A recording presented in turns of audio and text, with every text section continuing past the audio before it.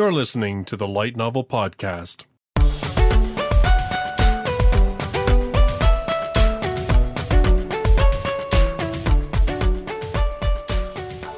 Visit us online at lightnovelpodcast.com.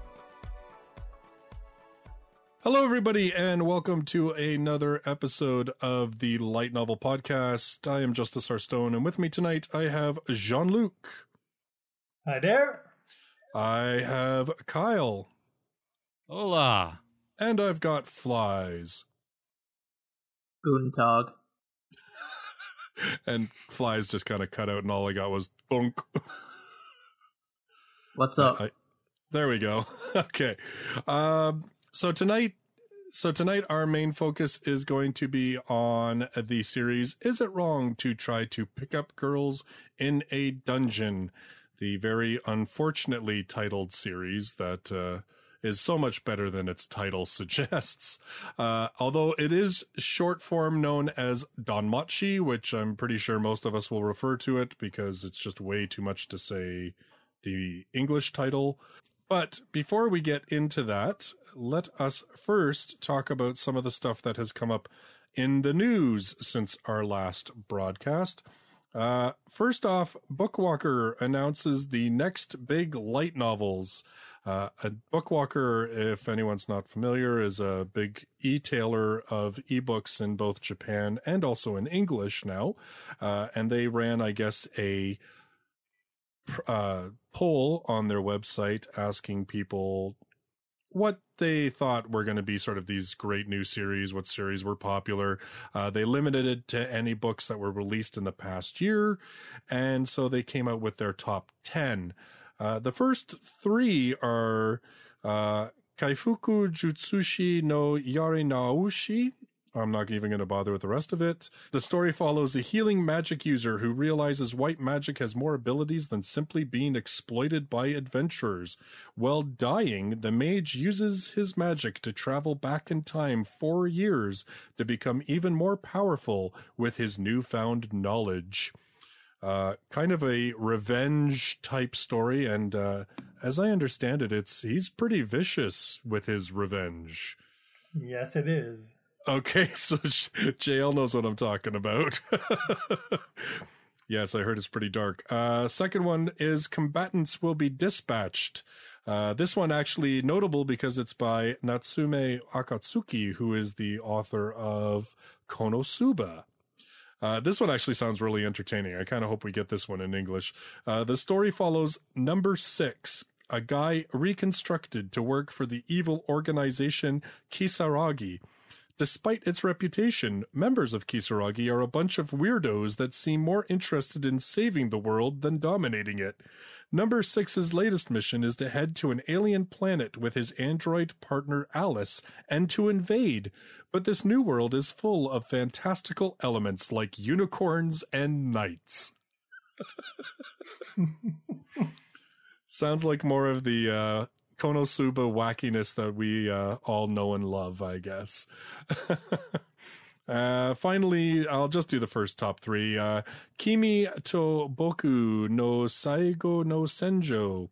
Uh, two countries are at war, the Empire and the Imperial Household Agency. Iska is a swordsman fighting for the Empire, and Alice Liese is hailed as the strongest ice mage from the Imperial Household Agency. The two nemesis meet on the battlefield, and sparks of a different sort begin to fly. So that's kind of the top three. I'll have a link on uh, the website lightnovelpodcast.com where you can go to Anime News Network and read the entire list of the top ten. Uh, I know, uh, like I said, I'm I'm very interested in getting the uh, Natsume Akatsuki one. I, I I think that'll be a good time. I'd like to read that one. Not too sure about the whole revenge, like, cause I, I heard there's like, like rape and murder and everything else in that one, but. Yeah, he's really, really hardcore in his revenge. okay. Mm-hmm. All right. Well, there you go. Uh, maybe one to avoid if you don't like those kind of things, if it does come out in English at some point. Uh, second news piece The Irregular at Magic High School is getting its very first spin off novel after like 26 volumes. Uh, apparently, this one it is the novel features a new heroine named Yuki Hashibami, who is a magician assassin, but she's not a magician herself. And it is her about her challenging Tatsuya in the story. And Oh, that boy. apparently, uh, yeah, I know, right? That's going to go so well for her. I can already see it. Um, yeah, don't challenge a DBZ character that's in the modern world. It's like, yeah, that's probably not a good idea. No, it never goes well when you're gonna. It never goes well. Uh, so anyway, apparently this one's being serialized on the Dengeki Bunko website, and then I guess they're compiling the serialized episodes into novels and then releasing them in that format.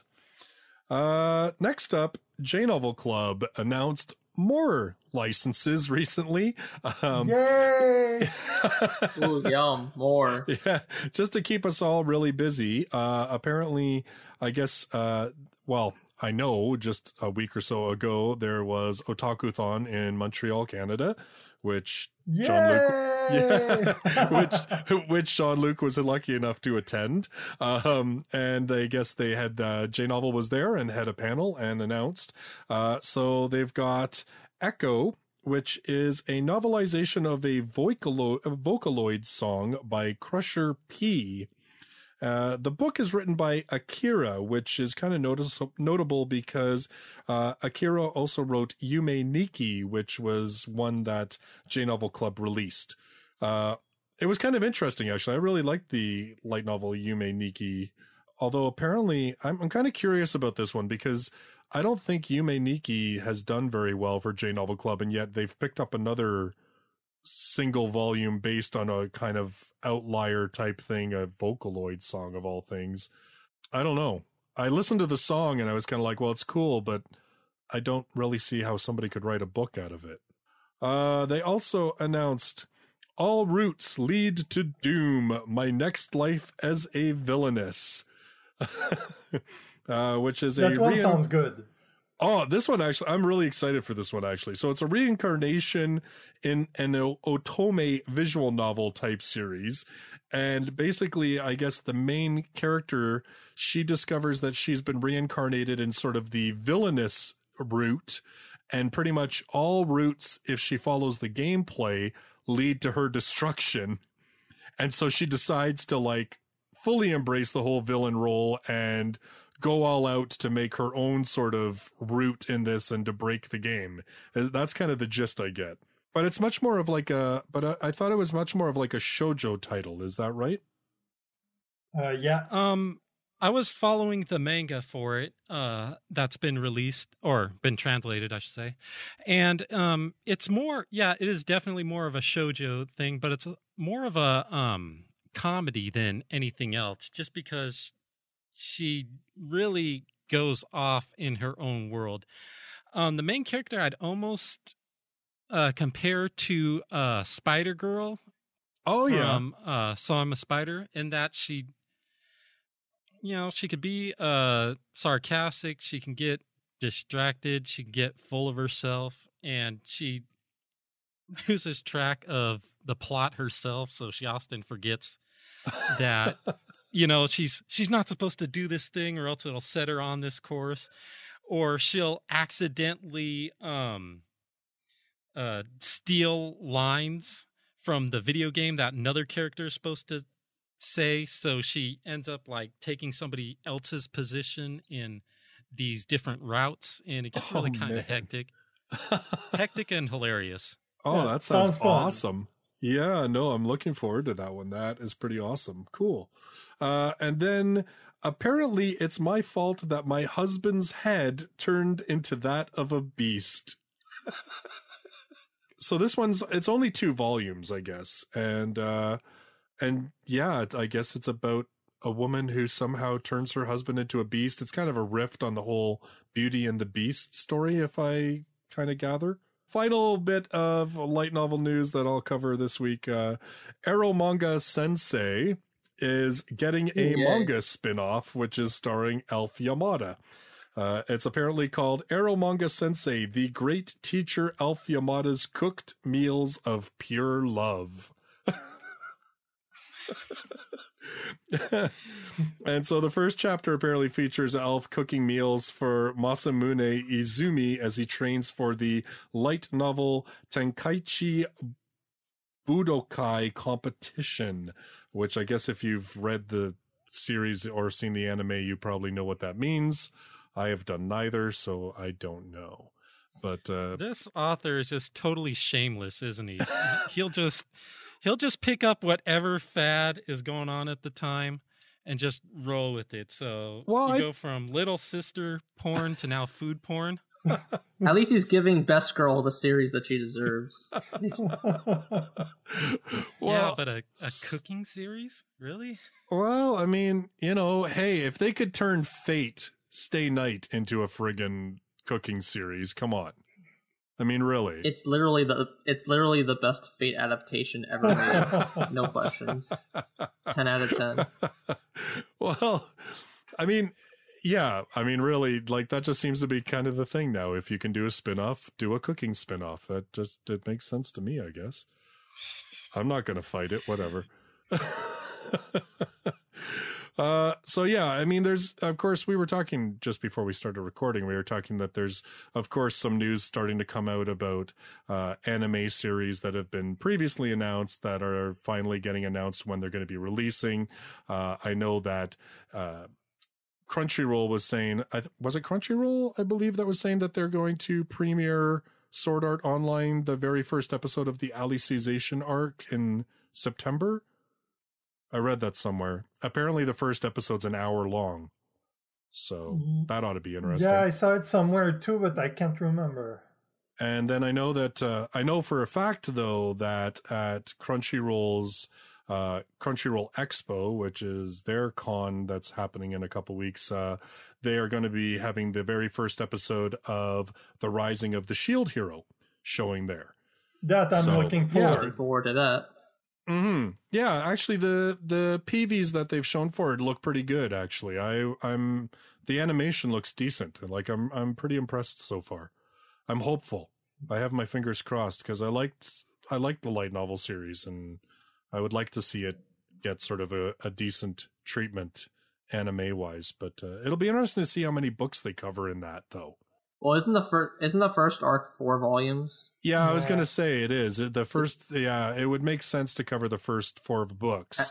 And I I don't think they announced how long the anime was going to be, but if it's like a one cour season, it's probably just going to be the first four books Yeah. to be safe. I yeah, that would make sense because really going beyond that, yeah, it totally starts into a tune, another arc that goes on for like another five six books. So yeah, it wouldn't make sense. Would prefer two cours with uh, like the the four first four volumes, like because the first four they go to a lot of different places. So like I, I'm scared that if they do only one cour, it will be like too chopped. Well, uh, yeah, no, I know what you mean. Um, well, funny enough, what a beautiful segue into Danmachi, which had five volumes covered in its single cour season, and you want to talk about butchered and chopped? Yeah, because the the the fourth volume is only one episode. yeah. Well, I mean, admittedly, the fourth volume, like two thirds of it is one story, and then there's like two short stories to kind of pad it out. But, but still, you're right. You like, I mean, considering it, it introduces a very important character, you would think there would be just a little bit more effort put into that episode.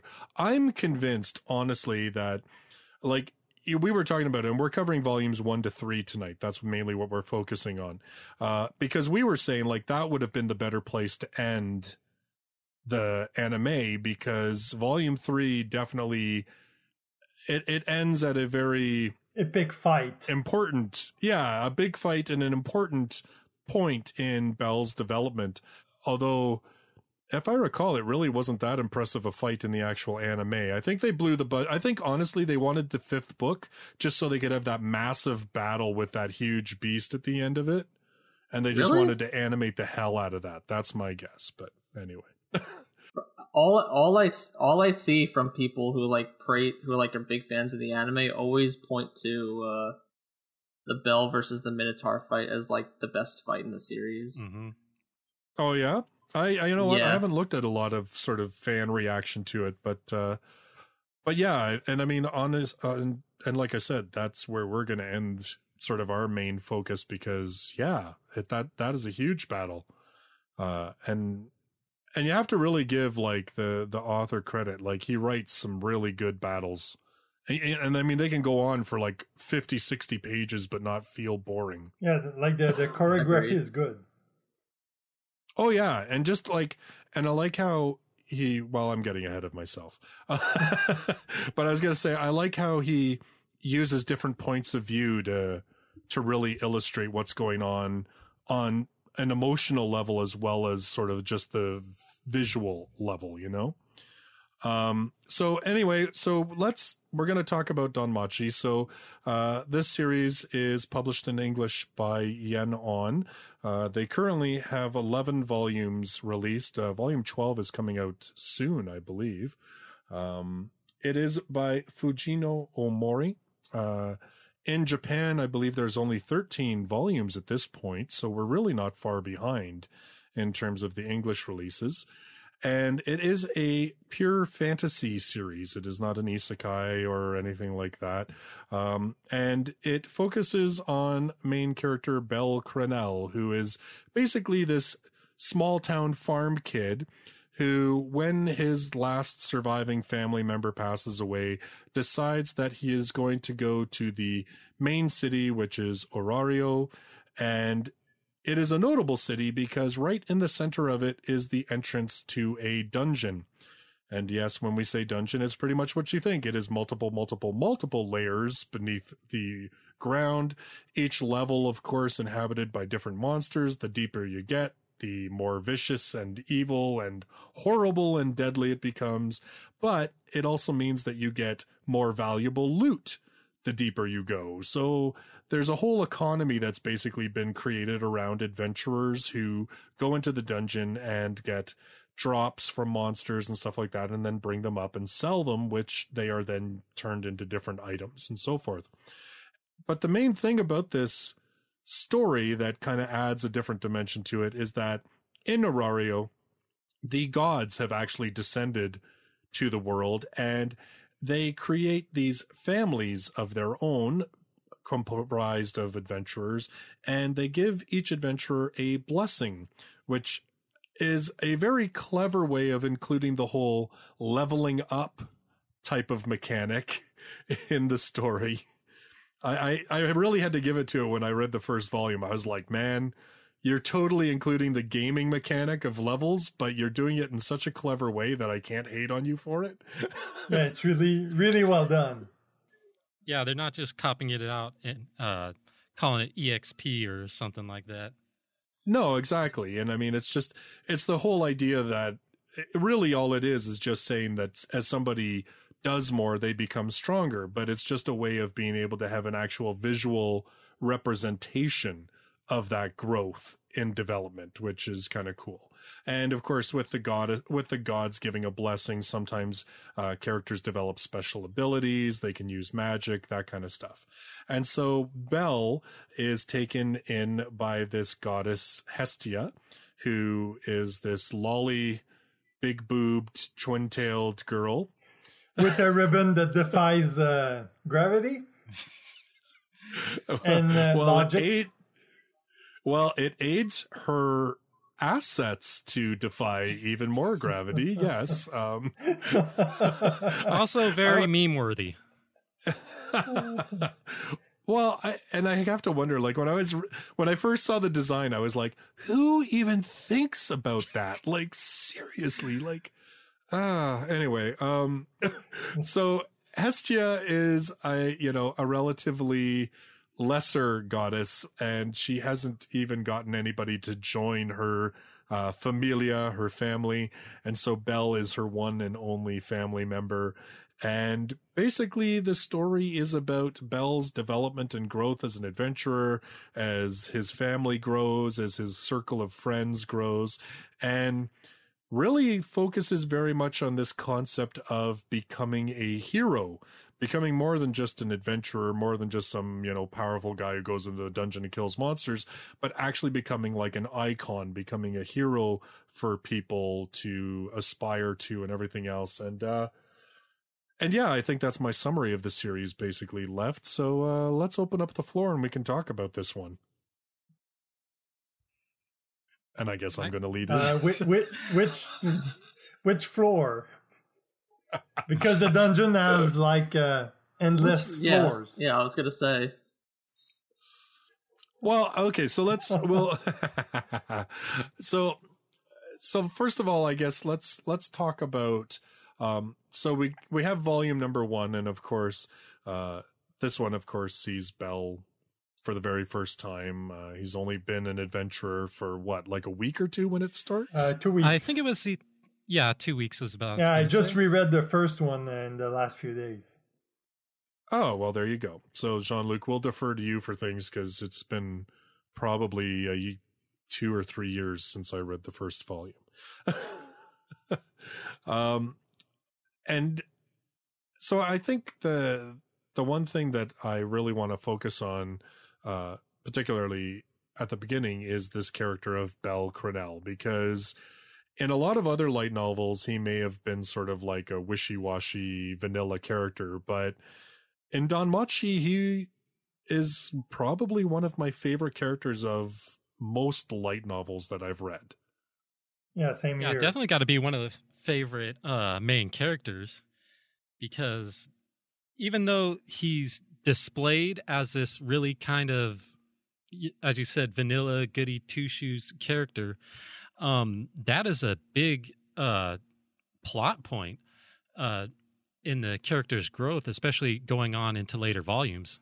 Well, the thing is, uh, he's I doesn't well, I don't see him as a vanilla goody two shoe like uh, because the the story is basically based on an epic story. Like you follow the growth and achievement of a hero, and a hero is somebody who is by uh, society standard is someone who is uh, like uh, virtuous. Like and Bell like he follows the code of the hero. Like he he's good because he embodies everything that's supposed to be heroic. So that that's how i see him. Yeah and uh the thing is that he does this all by um choice. And I think that's very important that it's showing that he's not just, um, well, vanilla, use that term again, but he has an ideal that he strives for above everything else. Yeah, well, it, it's not like it's a, a well, uh, you, you said like uh, he does it by choice, but it's more like he's been taught by his grandfather to follow those idea well, I, I, I admit there's probably some level of sort of nurture in that, but uh, I mean, definitely we see it in these first. Well, I mean, we always see it in Bell, and this is one of the reasons that I like the character so much, and and I agree with Kyle's point is that he is constantly being challenged with the difficulties in terms of will he follow his morals and his ideals, which will lead him into a difficult path or will he take a different path that technically isn't wrong, but is still contrary to what he believes? And I think that's what Kyle's meaning when he says a choice is that he's constantly being given these choices of what path will you take? What decision will you make? And he often will choose the harder path because he believes in it and he knows that it's going to cause him difficulty, but he still chooses it because to him it is what is right. I think what makes him such a likable protagonist compared to uh, a lot of other novel series that we've gotten licensed in the states is that he's never shown to be that powerful, and it's a, very much like almost like an underdog story where like you have the the protagonist at the beginning of the story who's like pretty much a weakling and nobody sees him as taking him that much serious. and that they think he's gonna fail, but like he puts in so much effort into what he does, and like he always he takes like like even if he has two choices, like you said, he'll take the harder path because he sees that like the outcome is worth working hard for. Well, it's more like he believes in the harder path. Like it's like the uh, the other choice that he could have made, like he it doesn't like adhere to his ideal. Yeah, and and I think Flyz makes a really good point because we we often slag on the OP hero, right? The that character who is just way too powerful.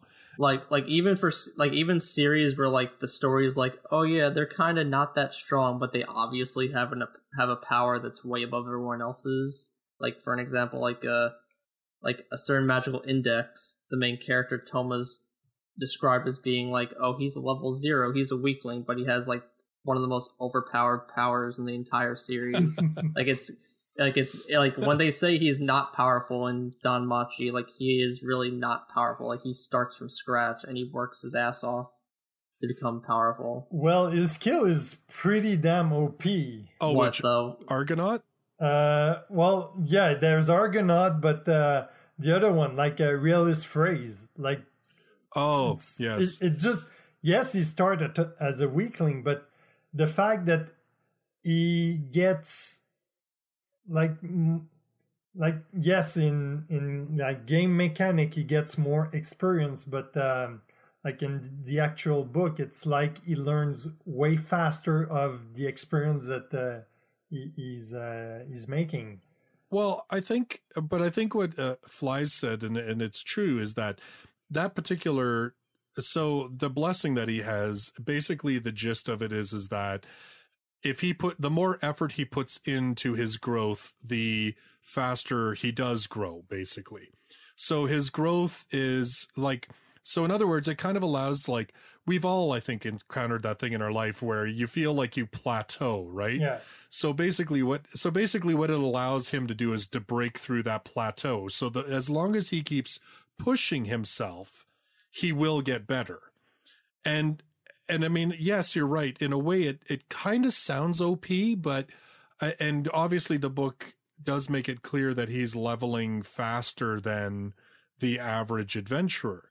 But I think the fact that there are so many other characters in this series that can and do kick Bell's ass. yeah It you you know, you never really feel like, wow, this kid's OP. And even when he does seem to move beyond the average, it's it doesn't feel like a cheat because the kid is pushing himself to death. Like he it's because he is chasing after ideals. It's because he's chasing after a goal. It's because he is pushing himself to be stronger constantly. And because he does make those choices that are hard on himself, that is why he is having that success. And, and I think that that's my thing is that, you know what? I don't care if he becomes a bit OP. I like the fact that at least it feels like he's earning it. It wasn't just given to him. Like it doesn't feel like he just like stumbles upon some random power that like he's able to master and like defeat all of his enemies within like a single volume. Right. Yeah. And even the things that and and even the powers that he does get that are very powerful, they don't always work and they don't always take things down, you know? Like Yeah, it's because it's not his Argonaut like he has a like a charge time, so it's yes a very powerful skill, but at the same time there's a, a limit to it.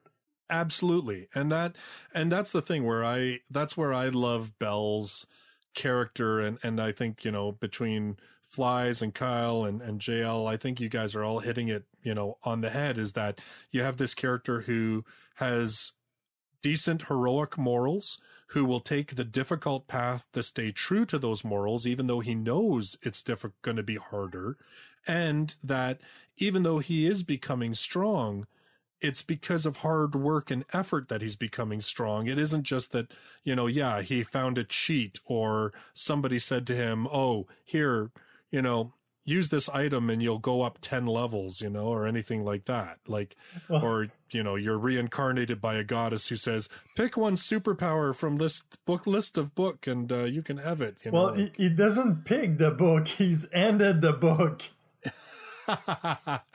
well, but even and and again, right? Like, uh, I mean, that's obviously a a, a whole f- plot point with uh, Freya, uh, and you know, it, it's the same thing. But even then, I guess you know, but Firebolt that that Firebolt spell that he gets, I mean, even then, like, it's useful, but it's not OP. Uh, because it's close Yeah, the- The, range. the only the only thing the only thing good about it is that like luckily he gets a skill that takes a very short amount of time to cast. It's like a not a long chant sort of like magic, so he's able to fire it off pretty quickly, but it's not really that powerful. No, and it kind of matches his skill set, right? Like Bell, uh, you know, Bell is always described as the white rabbit because he's got white hair, red eyes, and because the kid moves like really fast. yeah, his agility is uh, in the top. Yeah, and so like that's it. it I, and I think that's where that whole firebolt thing works really well with the character and with the character. I mean, for lack of a, a you know using a gamer term, his build right. It's it, it all works. You know, the fact that he uses daggers, the fact that he's got this really quick spell that isn't super powerful, but definitely can be fired off quickly in quick succession. Um, you know, his agility maxed out. Like it, it really does all just kind of work together. And again, like it's it's it's not a spell that like, oh yeah, I take down minotaurs with one hit with this thing. Look at me go, right? Like it's not OP, but useful, absolutely. Yeah, it's uh I mean when you look at like real true spellcasters, you just see how out of its league in terms of uh just pure destructive power it is cuz there's one well, there's several spellcasters you could choose um who could clear out just hundreds of enemies with just a single spell. And you you got Bell's firebolt and he can annoy someone. Yeah. I mean, that, that's kind of the extent of its power.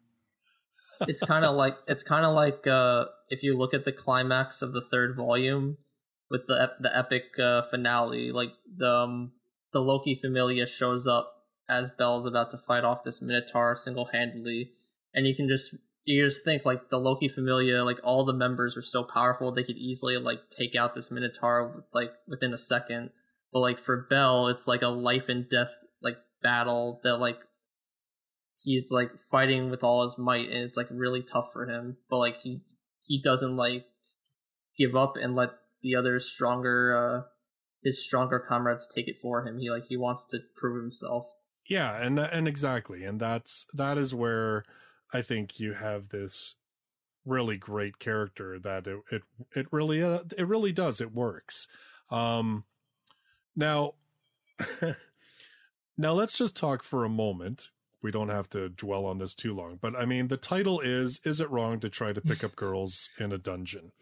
And I say it's an unfortunate title because it makes it sound like this is a really cheesy harem type st- series with uh, Bell Mac either Mac dadding on a bunch of girls or being the clueless protagonist where every single girl's madly in love with him. The girls fight with each other to get to him, and he's just a complete idiot when it comes to the girls. Yeah, I almost didn't pick up uh, this series at first because of the title. Like uh, when it came out in anime format, like uh, I waited like maybe a year before uh, like uh, watching it because the the title like straight up uh, scared me. like the ti- the title makes me the title makes me think that the protagonist is going to come off as some unlikable like Casanova guy who's full of himself and thinks he deserves all the women Right. but like it's it's quite the opposite pretty much And the irony is, is that Bell couldn't be any further from that. um, now, I mean, there are sort of harem elements to it. Uh, there is a cast of obviously we have Hestia who, uh, you know, cares very deeply for Bell. Uh, in volume two, we have the addition of Lily, uh, his supporter, uh, who is very affectionate about Bell. But and then we have this the girl Aiz Wallenstein, who Bell It's kind of this is the thing that I wanted to talk about because this is what I always struck me as as interesting about this book was that as much as Bell Aiz is kind of presented initially as kind of this love interest, you never really feel like Bell's in love with her. Well, it's it's more like a, a crush than like real love. I, I mean, it's more like he's like he's attracted to her, but uh, more in a like admiration type of way. Yes. Like I, I don't know how it how it is later in the series, but for like the first three volumes, it feels more like like he think he's attracted to her like physically, but he it's more like he idealizes her as like someone he wishes he could be like to be like as strong as she is. As a woman, he's definitely attracted to her, but as an adventurer, she's his um, ideal, everything that he believes that an adventurer should be. And so, you know, that's why he gets really fixated on her. Well, also like Bell is 14 years old, so it is a little bit young.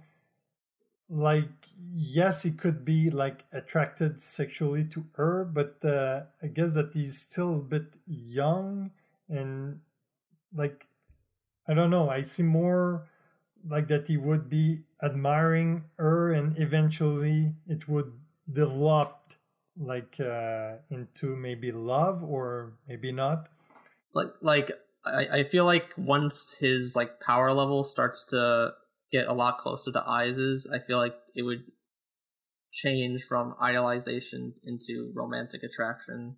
But like as early as this into the story, yeah, because I, I think to this point he he feels like he's not worthy. Oh yeah, like, definitely. He's de- he's definitely pe- he's definitely a pessimistic kind of guy at the start of the series. Yeah, that's true. Well, and I mean, you know, at the very start of the series, of course, he's humiliated in front of Aiz mm. and mm-hmm. Loki Familia, right? Um, you know, what did they call him? Tomato Boy or whatever? Uh, so yeah, I agree. I, I think that his Aiz is much more of like an idolization and and to your point too, Jean-Luc, like he you're right. He's this he seems like such an innocent kid who really doesn't know much about the world and it's funny because when he starts the series, it sounds like his grandfather was kind of a womanizer. you know, yeah. his, his grandfather filled his head with this whole idea of like a harem is a man's romance, right? well, it, it's a spoiler, so I won't say. Like, uh, it's not told in the first three volume, but when when you have more information on his grandfather, get definitely a womanizer. Well, yeah, okay. Definitely. yeah, fair enough. And, and but it's funny because you know Bell does come initially in the first book. Bell does have some of these ideas in his head about this whole idea of you know um, saving the woman in a dungeon and you know all these kind of like things that his grandfather's put into his head. And all of that gets dashed basically when he comes face to face with Aiz and when he becomes humiliated because he's so frightened initially because of this minotaur that gets loose in the upper levels and almost squashes Bell basically it's like all of that gets thrown away and is replaced instead by just this like you said idolization this this it's a goal as opposed to a romance. And even as the series goes on it's much it still sounds more like it's not so much that he even wants to romance her as it is that he just wants to feel that they can stand on equal footing with each other and they can you know it's it's more like he wants to be able to adventure in the dungeon with her on equal terms as opposed to oh i want to get with her or whatever. And i always kind of laugh because i'm like he, he says that in the first book a man a harem is a man's dream or a man's romance. And and then i'm like you know as you get into the series dude you're developing a harem but you're completely not seeing it. To me like the japanese title is a, is a little bit more um accurate to what the series is actually is. Uh, not that uh, the English title is wrong, but uh, well, it's actually a really good uh, title. But um, like uh, in Japanese, from my understanding of it, like they have um, the word "dei." "Dei" is mainly like an encounter, a meeting. So you can translate it as like pick up uh pick upping girl in the dungeon but uh, it's also about like a meeting or like d- developing relationship with people not, not necessarily uh, like uh Yeah, like- romantically Yeah, I get what you're saying. Like pickup makes it sound kind of like you know Trashy. hookup. From what I, from what I've seen on from what I've seen online, the actual translation is instead of pick up girls, it's literally just is it wrong that I want to meet you in a dungeon? Which sounds a lot more uh, digestible. Yeah, so when when I read the title in Japanese, that that's what pops in my head.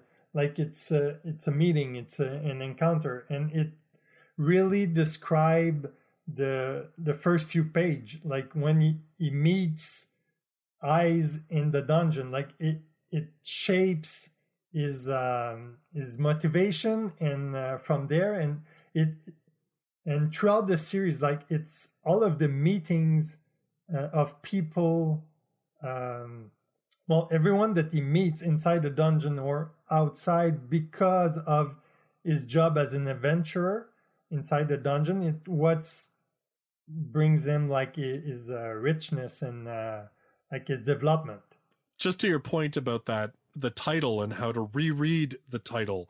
Uh, in volume number two, of course, we have the addition of the character Lily, who is this supporter character who her main function is to just be that a support to the front line adventurers. So, uh, having intelligence, uh, keeping all the information about the different levels, what kind of monsters there are, how best to harvest the drop items that the monsters leave behind, and everything else. And initially, she is incredibly distrustful and, well, basically hates adventurers, and for very good reason. Uh, but it is because of her experiences with Bell in the dungeon and how Bell treats her that eventually turns her to be his friend. The frontliners like to shit on the support. It's almost like a real life video game. Well, it's true, right? I mean, it, it that's the one that's another thing that I I like about this series is that adventurers aren't really good people. Yeah, it's it's a job. like uh adventurers in that book like to me it sounds more like it's uh, an actual job like they're mining resource in uh, inside the dungeon and the supporter like to me they're doing a support job but like in every job like you have um, often have like a position or a specific job that is viewed uh, with hate by your coworkers so to me, it kind of represents that. Well, yeah, it's pretty much like it's pretty much like any other job where like uh, the adventurers are like in the front lines and like the supporters are important because they're there to support them. That's the whole reason why they're there. But like the adventurers have like an ego sort of problem where they're like, well, we're killing the monsters and like charging into the dungeon, so like we're doing pretty much all the work. So like I'm just gonna look down on you because you're just like following behind me.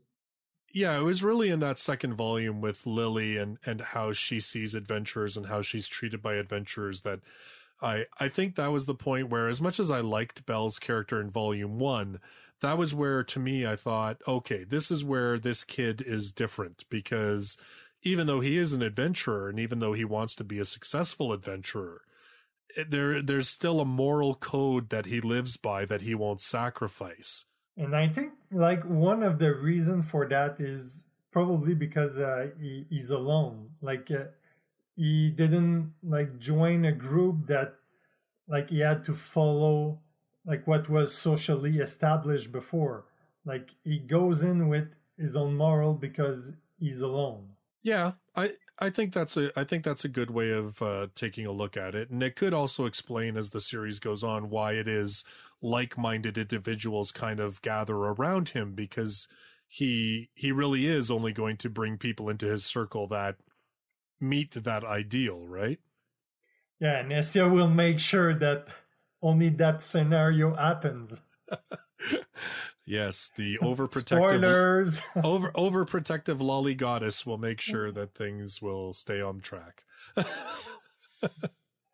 yeah, but overall, I, I really liked like uh, Lily's development, like uh, her story overall.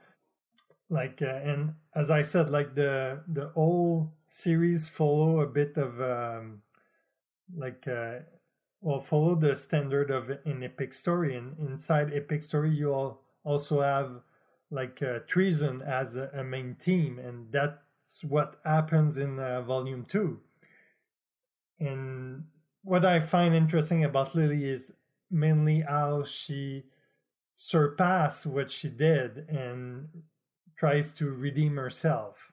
Well, she occupies a really interesting place in the series, and I mean, I, I think it's it's it's definitely like it's funny because her character, the way she's drawn and the way she's depicted, she seems like this really like young girl, and yet she is kind of like the voice of reason in the whole and, and i mean that continues on for the whole series but uh but definitely like you see that in the second book even when she's supporting bell you know even though she's plotting other things like you said that whole idea of treason because she figures bell is just another adventurer uh but in volume 3 you see that as well right that whole uh, idea of she's kind of the more the level-headed one yeah yeah, because from what I can remember, um, she's been an adventurer all her life. Uh, she's been in this role um, and just seen all sides of adventurers, and she's really grown the cynical outlook of it. Well, yeah, she was. What was it like? She was sold into it or something. Like her parents that... were part of the familia, yeah. and then when she was born, she was automatically in there as well. And of course, it's a familia that's very dysfunctional and for all sorts of horrible reasons that you find out later on. mm-hmm. but uh, yeah. Well, actually, they do discuss that a bit in volume two, though, don't they? Yes. They about do. why the familia is like that. Is that the whole idea of the basically it's it's the god of like wine or whatever is the is their god, their deity, and he's created this wine that is basically a drug and it's so addictive that the members of the familia have no qualms about stepping on other adventurers as well as their own to be able to get the chance to have that wine. Like it's it's interesting how we have a lot of different themes woven into this series without it feel like you're getting hit over the head with morality or whatever right like i mean there's definitely that element of like drugs and drug abuse and addiction that's kind of woven into it. Uh, you know, there's all sorts of later and later volumes. There's all sorts of darker, sort of more societal things that are brought into the series. Uh, and you know, Lily, Lily's character really does bring forward that whole idea of the fact that adventurers can be abusive and even to their own that they're not necessarily all going to be heroes or or even if they're not heroes, like you know, Bete is a bit of a dick. We see that in volume one. Yeah. Well, he's a douchebag. yeah, he totally is. Oh my god, like what a jerk. um, you know, but and, and it's funny because I find that with Loki Familia, the more that we see them, the less impressed I am with them as individuals. Now, I mean, I've only read two volumes of the spin off series, so maybe I'd feel differently if I read more of it. But when you read the main series again, like it's it I don't know, like the it's it is you can really see the clear distinction about why it is Bell seems to be the one who is on the path of the hero, whereas everybody else is just on the path of the adventurer or almost like a mercenary kind of path, you know? Mm-hmm. Well, for the other, like it's their job. Like they're bringing money home but like as before because um like uh, Bell's familia is just starting. Like he has the choice to basically follow whatever paths he wants. Well, because you're starting from zero. Yeah, Yeah. you're right. I mean, when the book Starting from zero in another world. totally other podcast. and it, it's like i- Continue. if you're doing a- an analogy of uh, like the the whole world uh, how it works it's like familia are big company and bell is just starting his own startup and usually like startup are able to maneuver more freely so they can bring new technology and new ways of thinking and well that's what Bell does. Like he, he brings well throughout the series, like you see him becoming an hero because he, he brings a new way of doing things that the other familia were since they were too big and uh, bulky to just uh, like uh, overnight change stuff. Like they, they seem like what he's doing, it, it's working. That's actually a really good analogy. I never really thought of it that way. Yeah, especially since they're so new, they get to essentially uh, define it as they're going. Well, it's true. I mean, in the first book, like Hestia and Bell live in the basement of this collapsed church. Like it's basically they're basically squatters, right? Mhm. Yeah. I mean- I mean, you know, even even the goddess has to have like a part time job just to to get food on the table. Like Several part-time jobs. yeah, right. And and even to to get Bell a half decent weapon, she basically has to go into debt for you know what could amount to centuries if they aren't successful. and Don't you Uh, wish every goddess in every light novel series was as hardworking? Seriously. Uh, well, true story, right? Like, like, like Hestie is not just a meme, guys. She's a good character in her own right. No, well, but that's but you're right. Like, I mean, she's uh, you definitely see it more. I would say in later in later volumes where her personality, I would say, comes through more, especially as she's tending to more than just Bell. Because I mean, in the beginning, when it's just her and Bell, there is that little bit of sort of childish Jealousy. lovey-doveyness that she has for him. But in terms, but in terms of her wanting to protect him and care for him and see him succeed. You're right. There's a lot more to her character. Like she is a very motherly character in a lot of ways. And, and yeah, her willingness to sacrifice herself and, uh, you know, when you see the other gods and how they're just basically there to be entertained and, and they, they, they freely will use people for their own frivolous entertainment. And then you have Hestia who basically puts aside her pride as a goddess to work as a part-time employee to bring in money. you I mean, it it really shows because like instead of calling themselves guilds, which is basically what they are, it, they call it familia. So like Hestia and Bell's relationship actually feels like a family, like a family sort of unit. And then like you have these other these other gods that like well, uh, unless I'm mistaken, I, I I think that uh, if I remember correctly, uh, Hestia in Greek mythology, she's supposed to be the goddess of family. I don't know much Um, about Greek mythology, but I'll take that. I thought it was architecture. Uh, on. I'm gonna have to look this. I up was gonna now. say I'm I'm Yeah. gonna have to look it up because I I Time thought for Google Fu. right I thought it was uh I I thought if I recall I thought she was like the goddess of the hearth like uh like the whole idea was uh you know it was she's about actually she's actually homestead and both. stuff like that Uh, yeah According to Google, she's technically both yeah of architecture and family. Yeah she is the virgin goddess of the hearth architecture and the right ordering of domesticity the family the home and the state so The real yeah question is if We is were this- all the real- Yeah. The real the real question is is is the real Hestia a big boob loli? I don't think so. No, no. Unfortunately not. Greek mythology might have been a lot more interesting that way. No, Yes.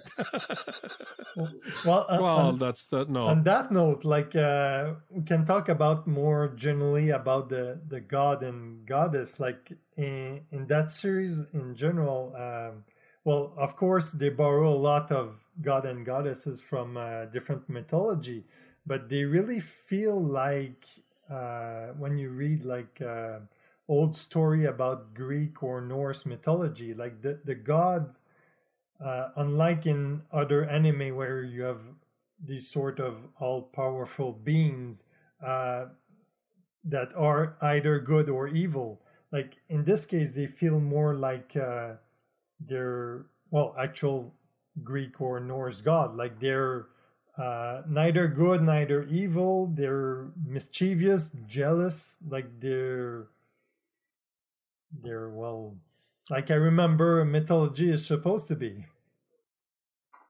Yeah, benevolent they are not. That's No. for certain.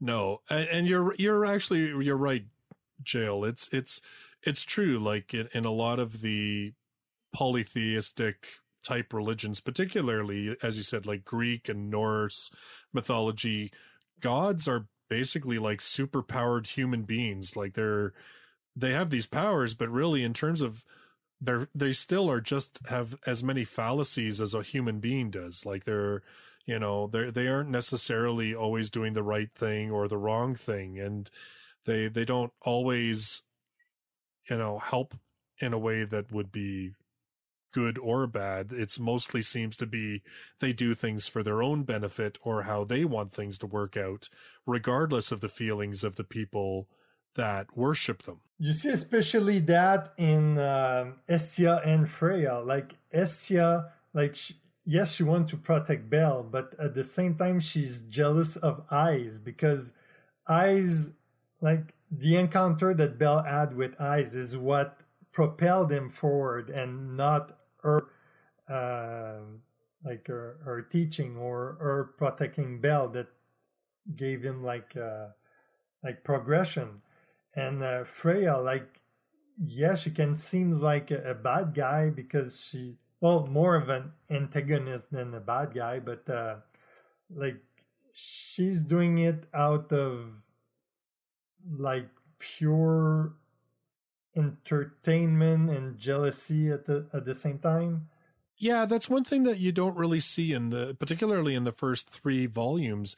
There's not like some sort of mustache twirling villain, you know, like it, it it's it's not like there's a really really bad guy. It's it is. It's it's really just people manipulating other people because of their bored or they want to be entertained or you know it's just a toy to them right? Like like you said like freya the way that she sees bell is he's just something that she's curious about something that she's interested in and i think there's that element of you know even though she doesn't necessarily know what his blessing is because she sees his growth there there becomes that curiosity of just how far can i push him forward Yeah, uh, speaking of Freya, yeah, she's definitely uh, doing a lot of things behind the scenes to kind of like um, put Bell into positions where he has to be. Um, well, she puts trials in his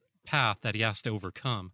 Right. Like in volume number one, of course, there's the whole monster uh, festival where they basically train monsters from the dungeon, and Freya essentially arranges for a number of monsters to get loose, and pretty much the the worst of the bunch ends up targeting Bell, and it's well, it's because she makes it that way. and so so she yeah you're right. In the first book definitely like freya is an antagonist but but yeah it's it's interesting that she's not like a villain that she necessarily wants to see bell fail. If anything she's like i'm going to put you into a position to see if you can succeed. And and it's weird because in a lot of ways she ends up helping him. Oh yeah, definitely. Yeah, like I mean, because she puts him into those situations, like she's the one who arranges for him to find Firebolt, the the grimoire or whatever, the spell book, to learn Firebolt, which, you know, is a big game changer for him in the dungeon. Uh, you know, she forces these monsters on him to test him to see whether he can move ahead. Uh, even we were talking that huge titanic battle at the end of book three between Bell and the Minotaur. The Minotaur has been trained to fight by Freya's right hand man for the whole purpose of attacking Bell. Yep. yeah, I'd say it's more about her just testing him as he like goes into his like adventuring career. Because if she's trying to actually defeat him, she's not doing a very good She- job. no, she don't want to defeat him. No, like I get the impression it's the opposite actually. She wants to see him become uber powerful. Like she's more it's more like she's curious and entertained by seeing how Yeah, far she, he'll she go. She wants him for for Yeah, that- herself. That's what Like, I. she- but That's what I meant, pretty much. Like if if she's trying to not do that and trying to actually be in a villain, she's doing a really crappy job at it. But I don't think I don't think that's what she's meant to be doing at all. no, Yeah. because uh, when she sees Bell, she sees this like crystal aura, like this bunch of possibilities, and it's she wants to acquire it, but at the same time, it's like she wants the diamond to be uh, fully shaped before she acquires it. So she puts a bunch of obstacle in his way so that it will shape him into the perfect crystal. Right. Well, and again, I mean, even just that whole idea of in the very first book, it starts off with Bell being confronted by this Minotaur. Uh, you know, he's he's scared literally to the point where he can't move. He's rescued by Aiz. He gets humiliated because of it in the the inn at the tavern, whatever, because of Bete and his you know boisterous dickery and uh, you know and and and then of course in book three freya intentionally makes it so that bell can face probably the worst minotaur that she can create. And it's all because she knows that how can he get better if this is going to be a phobia that always holds him up? So better that he fight through this and survive and overcome it or die. It doesn't matter which happens. Mm-hmm. You know she she like it's interesting her ambivalence right? She's kind of like well i want you to succeed because if you succeed then i'm right. But on the flip side if you fail then you were not as good as what i thought you were. So that's probably a better outcome too Yeah, gods can be weird like that. well that, that's what i like about the the gods in the in that book. And well like it, it doesn't show in the three first volume but uh, later on soma like the release god like the development he gets like it, it's wow. And and gods like ganesha and that guy Uh, is weird. you know loki herself. I am ganesha um well, Is this is this after season one stuff? Because I don't know anything about it. Oh, well, you know, you see Ganesha, well, I mean, maybe not in the anime, but he's in book one because his family is Well, the one that actually organizes. Is that The is whole that the guy with the elephant yeah with the see elephant Yes, his yeah. mask thing? yes the Okay, elephant I mask what it is. Yeah, I yeah, I haven't read volume one or watched the show in a while. So- yeah, he's the elephant mask guy. Basically, if you say that, most people know what you're talking about. but you're right. And like, even the whole, um, the gatherings of the gods and everything else and when gods even talk to each other it's interesting just even to see how they react to each other and interact with each other um i like that's the thing that and again like i i love this series because it works on so many different levels like there's the whole dungeon and what is the dungeon and and what how did the dungeon form and all that kind of stuff. There's all that mystery aspect but then you have this whole other level with the gods and and just that they're so unpredictable like who knows what's going to happen. And then you've populated with all of these really interesting characters who all get a lot of plot development and character development. I mean, Bell obviously gets the most, but as you said, like Lily has, you know, different things that happen with her. I mean, in the first three books, definitely, but that there's a lot of growth that she has even beyond that. So yeah, even in, in the eighth volume, you have a, a bit of uh, development with. Yep. Her. Oh yeah, absolutely. Yeah. Like there's a lot. Uh, you know, it just it's got so many different layers that all kind of work together. And that's why i say to people all the time i'm like man i, I wish they had just allowed him because the author initially just called it the familia myth or familia chronicles mm-hmm. wasn't it? Like i seem um, to remember that that was the under the web novel that's what it was called was like i think you got it uh backwards. I'm pretty sure the dan danmachi was the original web novel and then he wanted to change it to Familia Myth, but then the publisher wouldn't let him. I think it was something along those lines. So he, yeah, so he just made it a subtitle to kind of shoot it in. Yeah, I'm. I can't remember. Uh, uh, I'm gonna. I, am gonna Google it because more Google know. food. Yeah, Google Fu.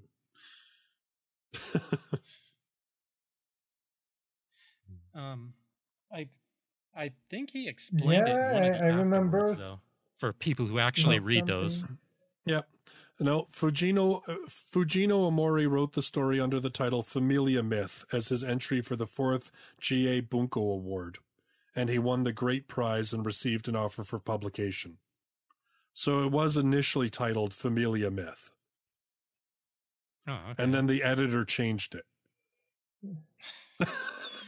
yeah, because because the editor the editor knew. Well, you're not going to sell this to otaku like this. You gotta you gotta. the title has to be longer. You have to. Yeah, the title has to be the synopsis, even if it makes no sense. it has to be longer, and it has to make it sound like there's going to be girls. Though I don't know, if, I don't know if Danmachi is the first series to start the trend of having a title being an entire paragraph long. Because that seems no. I think it was um, uh, well actually uh, at Otakuthon I asked the same uh, question to uh, to Sam in one of uh, the panel, and uh, I think he said it was um, like Oreimo. Oh, yeah. Oh, did or- and that oh. would yeah, make sense. Yeah, because I from memory I think it's one of the first one I remember to have a super long yeah. title that can fit in a binder. Yeah, well, no, that's true. Yeah, yeah. Uh, my yeah, little the, the, anime for Oreimo came out like many years before the first novel of DanMachi even got published. So. Yeah, I, I, just took a little sense. Google Fu, and it was August 2008 was when the light novel for Oreimo came out.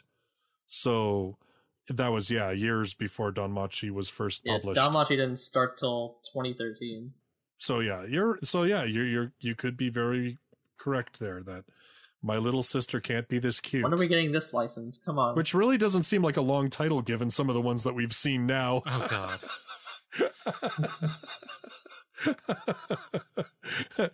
well, the the thing is, it's like when something is popular, like they build up from there. So I think from Oreimo, it was like. Uh, a competition to see which title can be the longest and the more most interesting.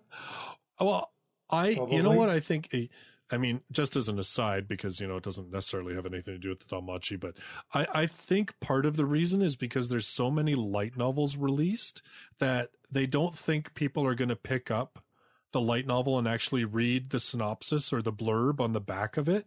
So they want the title to basically tell you what the book is about because that's going to make it more likely that you'll actually pick it up. I, I swear to God, I think that's why they did it. I mean, I could be completely off wrong. I feel like in DanMachi's case, it's going to be a giant 180, and people are going to be like reading into the first volume and be like, "This is nothing like the title says." but at, at, the same time, like I remember uh, seeing in like. Uh, uh, like uh, a special uh, footage like uh, with a movie and the uh, making of and they were talking about the, the title and uh, th- they said oh we want the title to be exactly what the movie is all about, and they called it RoboCop. It works. It tells you exactly in two words what the movie is about. So I don't think you necessarily need a whole paragraph to tell me what the, the book is all about. You're right, but when you consider how weird and wacky some of these books get, like light novels, you can't necessarily sum up like a light novel. Like, what are you going to call, you know, vending machine? That doesn't tell you anything. you have you have to make your title as ridiculous and memorable as possible. It's like it's like when you watch some like commercials on TV, and like sometimes you'll watch them and be like, "This is like the stupidest thing I've ever seen," but like you'll never forget that stupid commercial. True story. Well, Like, I it's mean, doing and, its and it's job. funny how well, and it's funny too, like how even if you can't remember the title, you just remember the gist of it. Like that one, like Isekai Hot Mom. Like I don't know what it's titled. I don't know what it's titled. I just know it's like the Isekai MILF. like, like, like, you know, like, like, Now I'm now I'm confused. I don't even know which one you're talking about. oh, you don't? Oh, Uh, oh, would you like a Is mother are you- who could attack Twice Oh, that and one. has a party area of effect at Saks? yeah, it's something, Yeah, you're right. Yeah, it is. It's it's something like that. It's like yeah. Basically, it's about a guy who gets isekai'd, but his mom comes with him as a support character, but she's way more OP than he is. I'm I'm more excited for uh, Isekai Pizza Parlor. There you go. Right? I'm all about the isekai pizza parlor. It'll only be good if they include like some re- pi- pizza recipes at the back of it. I'm expecting it to be the same sort of feeling as killing a three three hundred slimes or whatever. Yes, it's got to be. A, oh it has to be a warm, fuzzy light novel, and there has to be pizza recipes. If it doesn't, if it isn't that, I'll be very disappointed. But anyway, that's getting way off topic. What, what what kind of topic do you want on uh, your pizza? yeah. What kind of topping do you want on your pizza? All right, in it's topping, world? not topic. I swear to God, if they put pineapple in this book, I'm dropping it. hey, Hawaiian pizza is good. oh or, man. or some alternate world version of it. Ultimate alter. I'll if I'll, I'll be out if they do sardines. I'll just be like, nah, nah, you can't do that. Anyway, um, so Danmachi. funny, funny how talking about just the title of the series can take you off on like a massive tangent, right? we could do. now I'm choking. Uh, Please don't die. Yeah. we could do a whole. We could probably do a whole episode just talking about titles. We should do that someday. Yes. We, we were talking about that, Oh, right? we well, well, there you Yeah. go. There you go. That's uh. That's how- were, yeah, we were talking. We were talking about that, right? We said we're gonna we're gonna research light novel to- titles in Japan, and then we'll do a competition and just come up with wacky titles and see if th- everyone can guess: is it a real title or it, did we make it up? Uh, in any case, okay, so so with Danmachi, then, uh, so uh, of course, so we have book one, which introduces the character, introduces sort of the world, everything else. We have that whole encounter with the Minotaur, and then he meets Aiz, who becomes kind of his idol, his goal, his that that direction, the beacon, whatever we want to call her, that he's chasing after, that helps his development. And so then we have volume two where we meet Lily, who is a supporter. She meets Bell, and basically she means to swindle him and steal from him, and then in the end realizes that he's actually really just this good, decent kid, and she decides to become his friend. And um, and then we have book three, which basically so in book three, then we have Aiz wanting to train Bell. And then we have basically the Minotaur fight. Like that's pretty much book three, right? if I Yep. remember. Yeah, it's pretty much just a straightforward training arc. Yeah. Tournament arc. No, um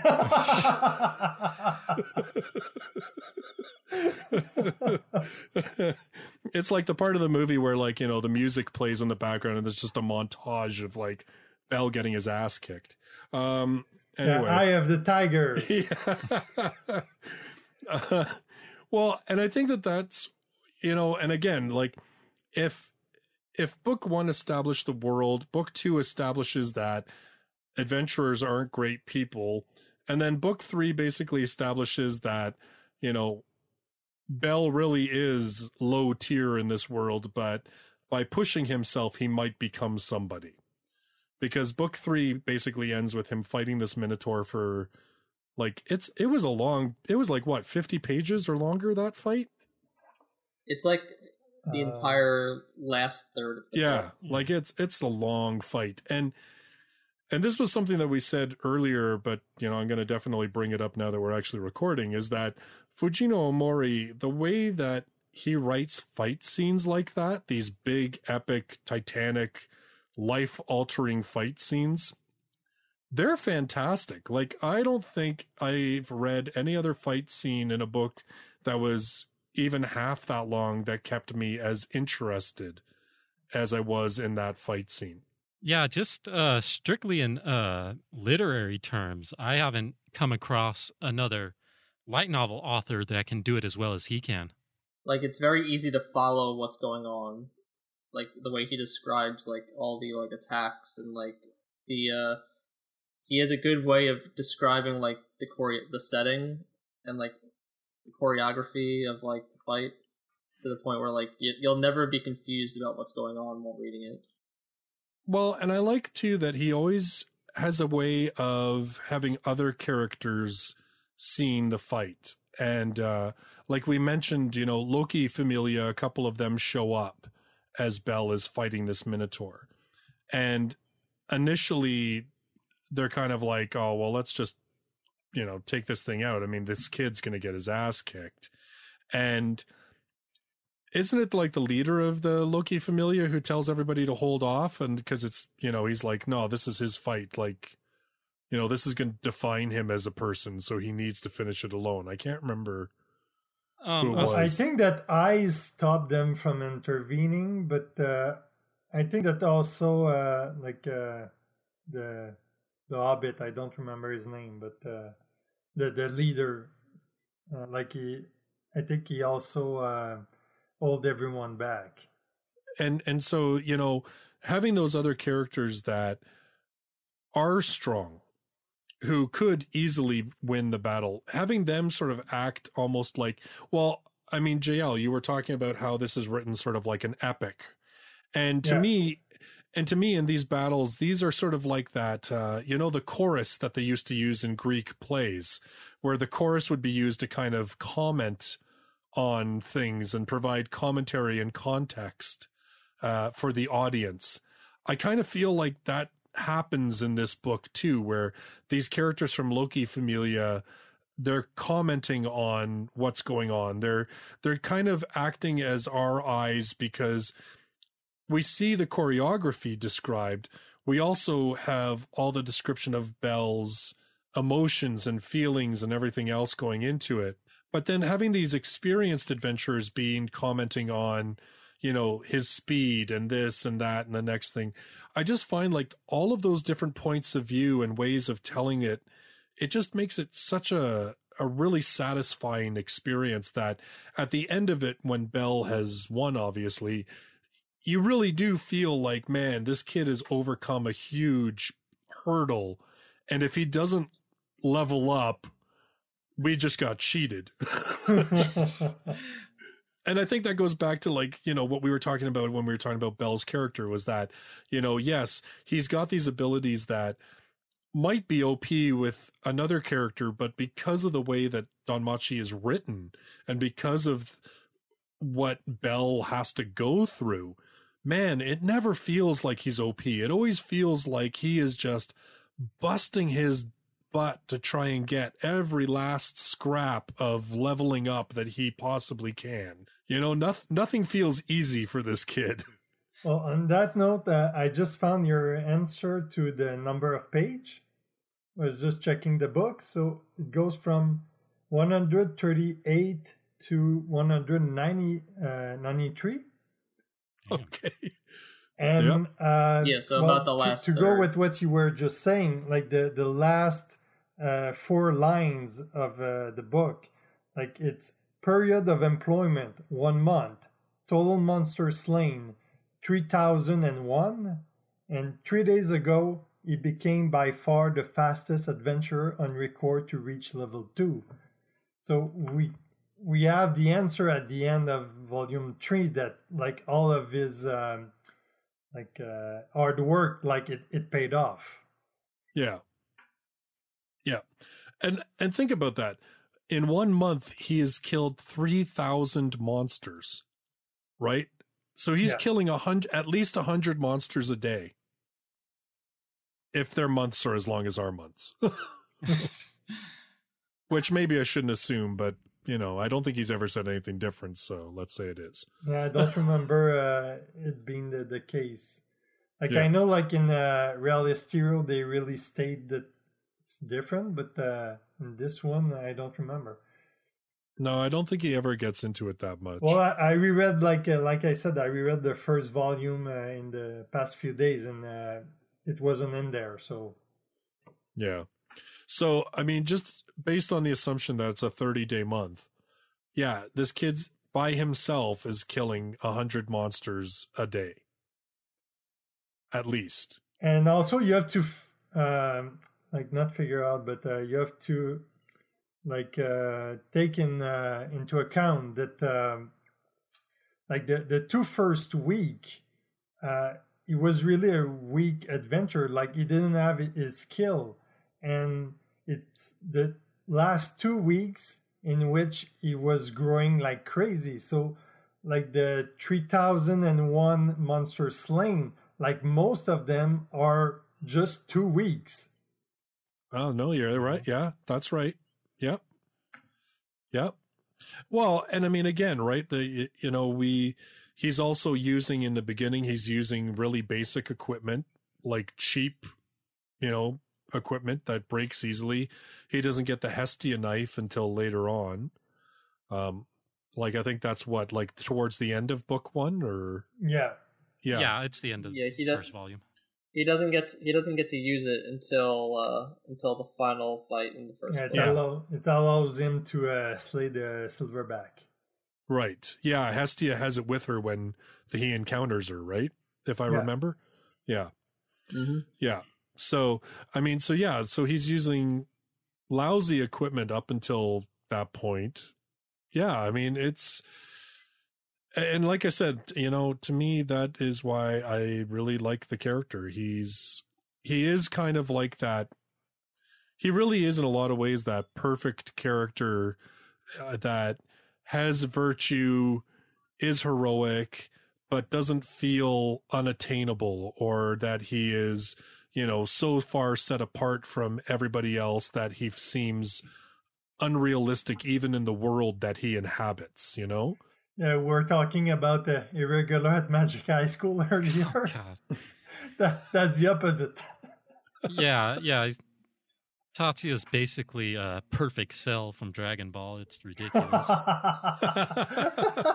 yeah, that's true. It's good you're talking about that because that's the because that's the next series I was going to start after this. So like and ag- and again that doesn't necessarily make a series horrible but you know it would defeat the whole point of this series like this hmm uh you know even though we're talking about the first 3 books and that's mainly what we've talked about i mean i i've gotten up to the end of volume 11 and and the series really is about Bell's growth. It really is about Bell's development and and you know his his journey. So it, it would make no sense for Bell to be starting off like as this crazy powerful person right at the beginning because it would be a totally different series in that case.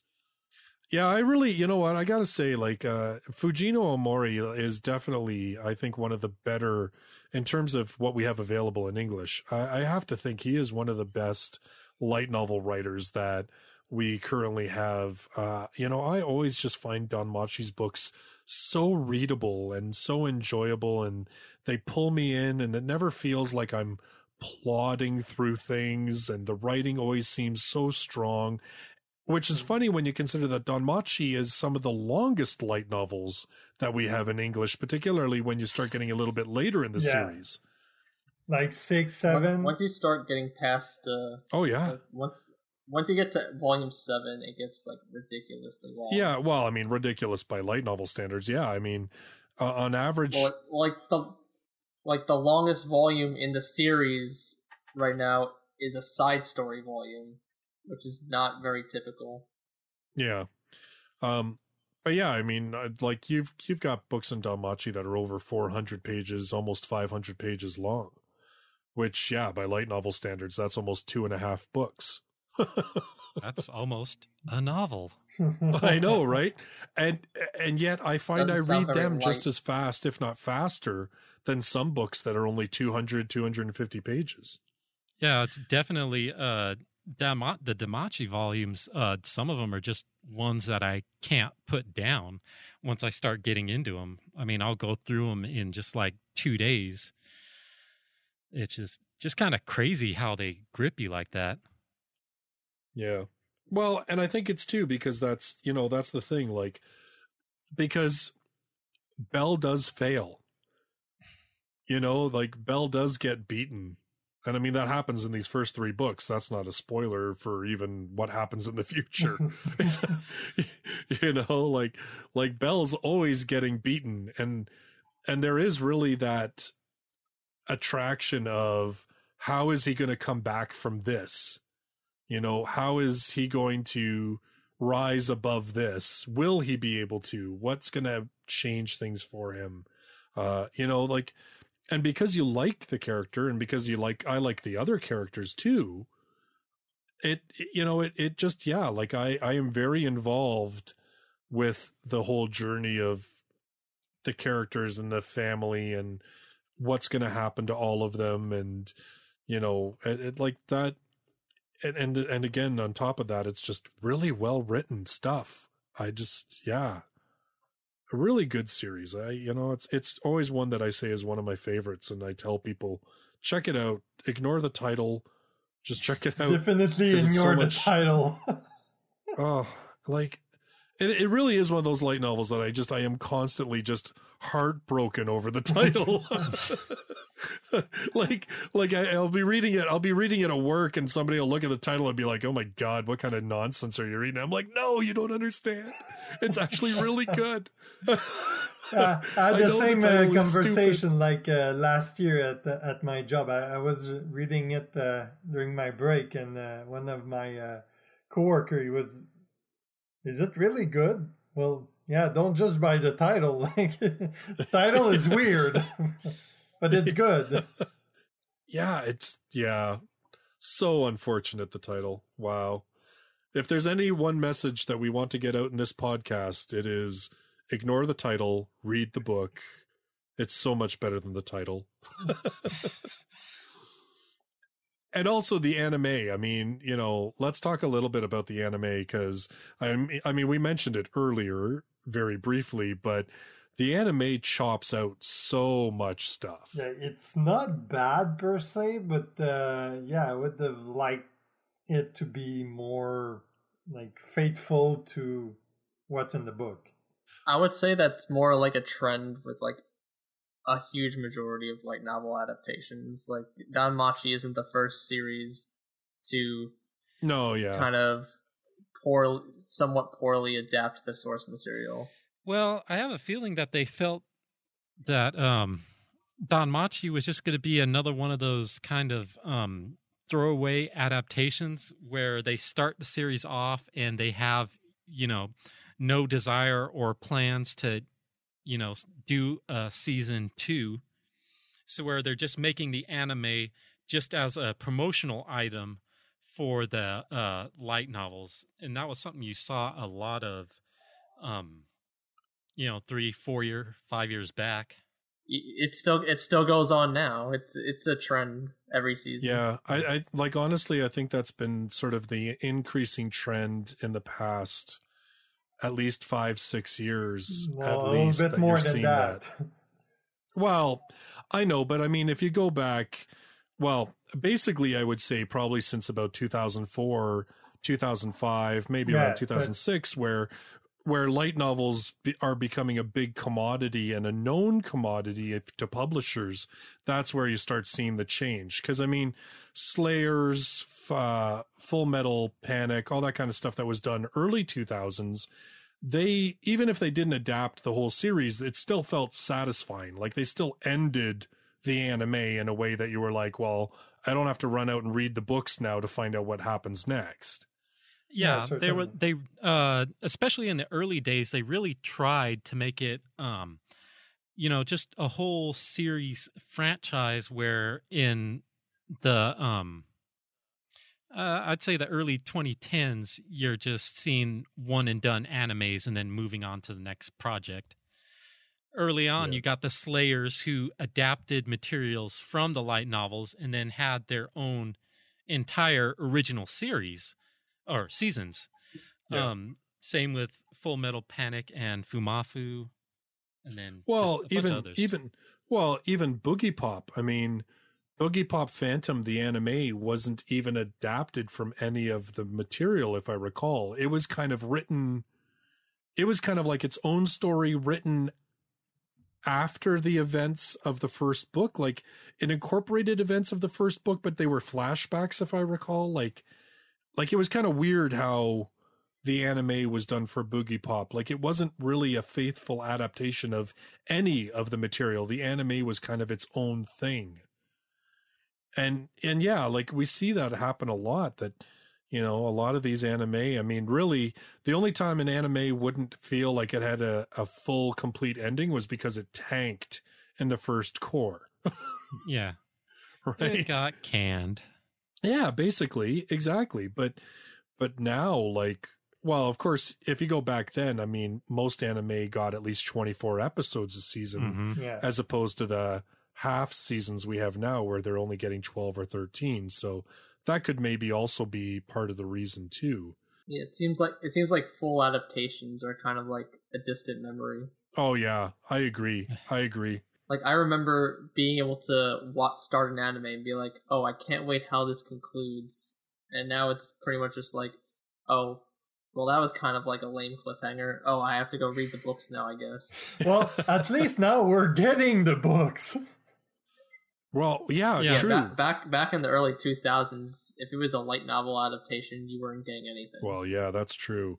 And and I mean, we're let's face it, there's still lots of series that we don't have that were like that that just ended, right? And didn't finish anything. So but I mean, you're right. At least it's getting better now. I mean, you know, Danmachi, The Devil is a Part-Timer, like there's a lot of series that are like that that now at least we can read the book and see what happens next. And I kind of feel with Danmachi that as much as I'm like I find that when I read the books I'm really invested in the characters, but when I watched the anime it felt more like the anime was more interested in the action sequences. Yeah, that's true. Like that was that was kind of my feeling on it. Well, the problem is that in anime, you can't really get as invested with the characters as you can in the books because you're missing pretty much all that monolog Mhm. That like is in, Yeah, because like you read through. don't forget that in the um, Danmachi main series, that Bell's point of view is told from the first person, so Yeah. you know everything he's uh, thinking. And Yeah, exactly. anime, it's none of that inner monologue. No, yeah, that's true. Yeah, it's kind of interesting. Danmachi is one of those series where, and then again, I think this is probably because Omori's a good writer, but um, it's one of the few series where the main character is first person, written from first person point of view, and then everything else is third person point of view. And I find that it works. Like it doesn't bug me, you know? Um, Sword Art Online does that in the main series, and it bugs me. I'm just like, please, can we just tell this third person? I don't want to know what's going on in Kirito's head. but he has such in, he's such an interesting protagonist. Well, I th- I think too, it's because in in Danmachi it feels balanced. You know what I mean? Like, like uh, it isn't like, oh well, you know, I'm going to tell two thirds of the book third person, and oh, I feel like writing first person for a little while, so here we go.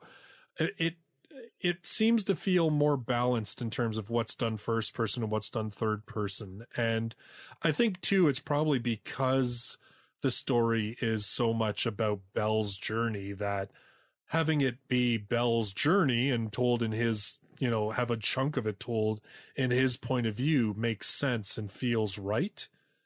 Because it, it really is a lot about particularly you know like i said when he's fighting the minotaur. I mean if i as much as it's visually cool to watch that whole inner monologue of his during that fight is really important and vital to knowing what he's thinking and what he's feeling and why he's pushing himself the way he is Yeah, it's. I mean, that's especially important because you got, uh, you know, the safety net literally just right behind him. It's like any one of those people from Freya, or from Loki Familia, could take out that Minotaur in a single hit. yep Yeah, Yep. so it's important to make sure that it's um, personal for Bell and not just some random mob that popped up that you want to beat.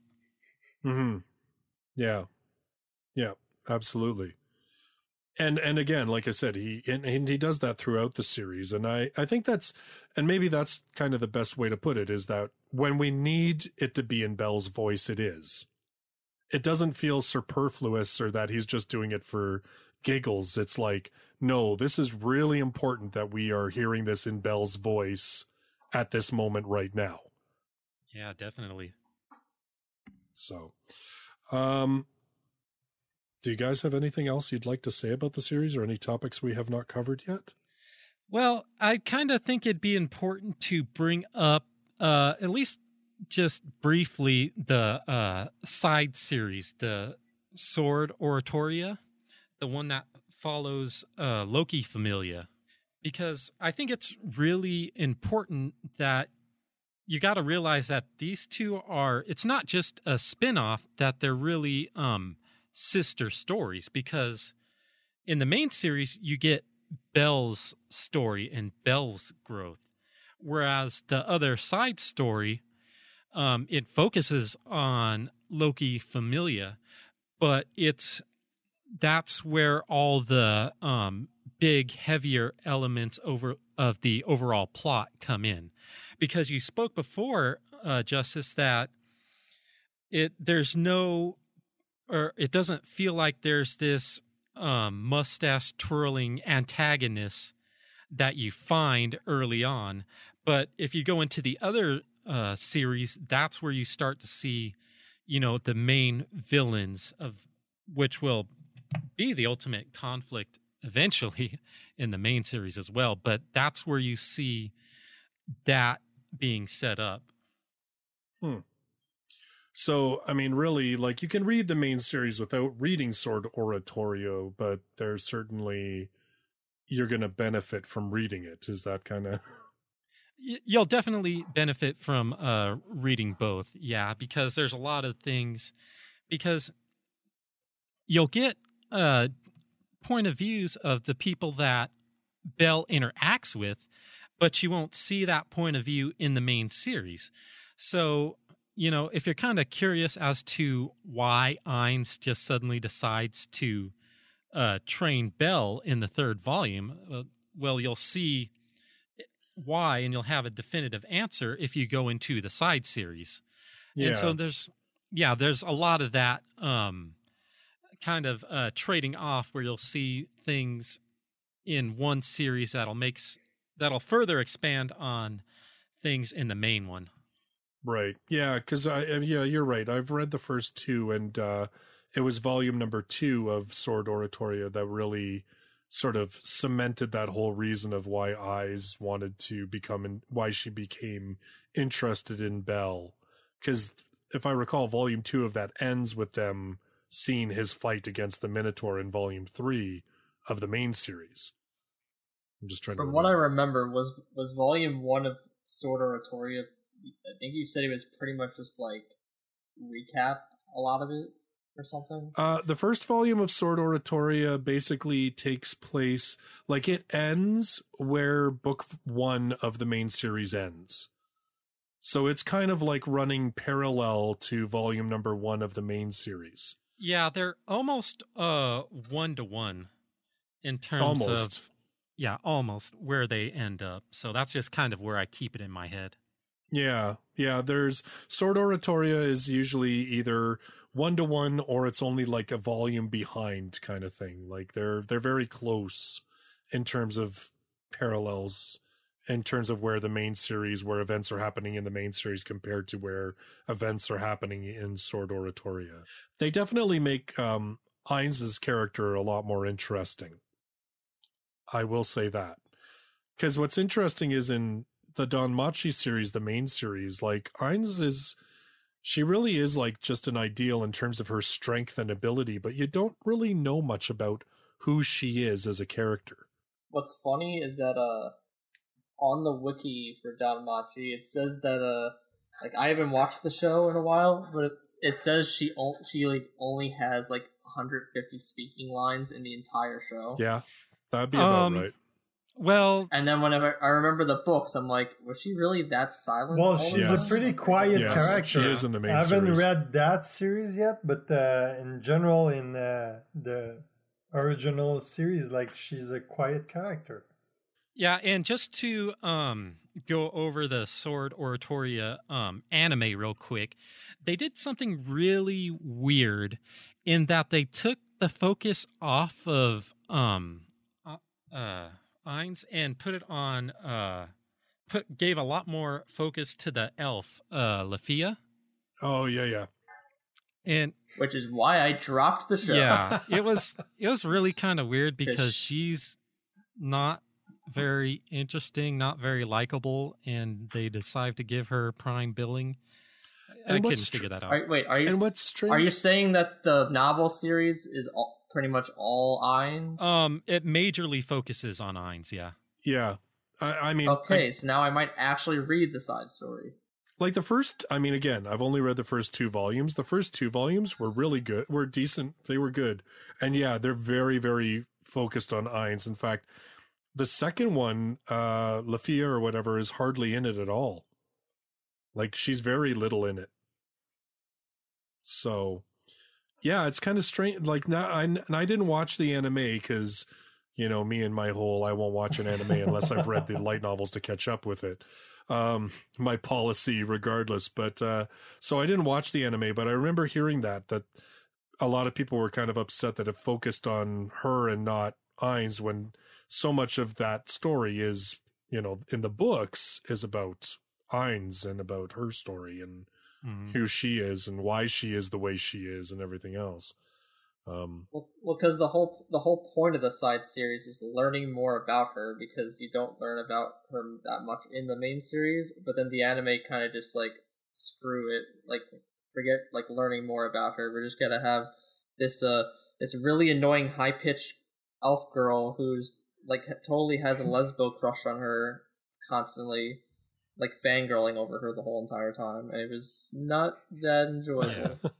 well, they don't, and again, like they don't that that that kind of a relationship is not at least in the first. Well, again, I'm only reading the first two books, but I mean, there's definitely again, it's more in the book. I got the feeling it was much more the same way that bell views Aiz is that whole idolization thing. It's not so much like a romantic feeling or whatever. That it's much more of a you know she's an idol she's a something to aspire to that's that was more how it was presented i think in the side books at least in the first two volumes so so yeah so sword oratoria is a spin-off series of danmachi but uh, as kyle points out it is not like a completely disposable side story that has nothing to do with the main series it runs parallel and in a lot of cases you see points of view of characters from that were involved in those incidents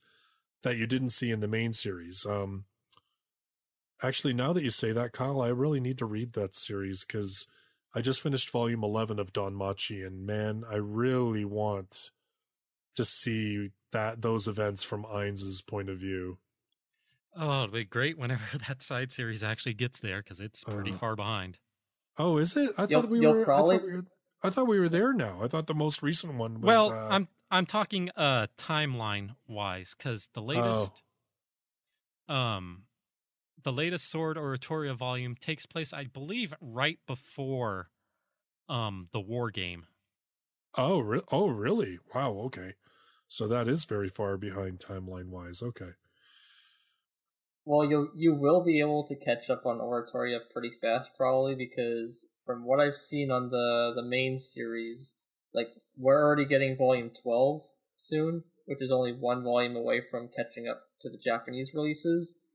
And Yeah. I don't know if the author Fuji, Fujino is. uh It seems like he's taking it a lot slower with releasing the series because I think the the time between volumes 12 and 13 was like nine months. So like it seems like once like once we catch up to volume 13, which we might do before the end of the year, you'll have plenty of time to just catch up on the main on the side series. Yeah. Well, yeah, no, that's uh no, you're absolutely right actually. Uh let me just uh I'm going to look. Well, actually, you know what? You're well, no, I'm I'm just taking a look. You- You're right. Like um Yeah, volume 12 came out in like May of 20, 2017, and then 13 didn't come out until February of this Yeah. year. yeah, there seems to be at least 6 to 9 months or so between uh releases uh, as you get into the later as you get into the later series. Uh like later on into the series like volume 10 came out in May and then volume 11 didn't come out until October. So that's like 5 months. It might also be It might also be because each volume's longer. Well, maybe, yeah. but- Well, then volume 11 to 12, it was October to May. And then you're right, May to February. So, yeah, I mean, it certainly seems like there's a increasing amount of time between. But at the same time, though, I mean, he's also writing the side story and everything else, right? So, I mean, I guess it makes sense why it's taking a little bit longer to put out stuff. So we'll see. But, um, so yeah, so Danmachi, it's an excellent series. Ignore the title. Uh, go read it. Get caught up because, man, it just keeps getting better and Oh, better. One of the few series like one of the few series I can truly say that I've read eleven volumes of, and every single volume has been just as good, if not better, than the one that came before it.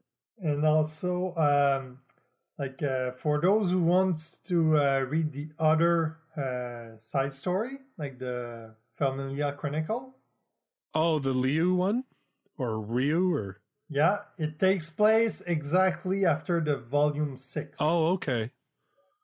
So, okay, so yeah, so there's two so there's Sword Oratoria which you can basically read concurrently with the main series cuz like we said it you know like Kyle was saying it basically is either one to one or it eventually starts lagging behind the main series.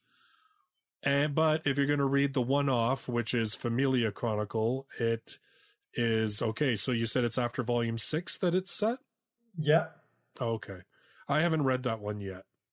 and like it, it it's good but at the same time like it's not something well it's a side story so it's not something that will change anything in the main uh, main chronology. Right. But it stars an awesome character, so. Yes. Yeah that, that's why I, I read it like as soon as it came out. Yeah.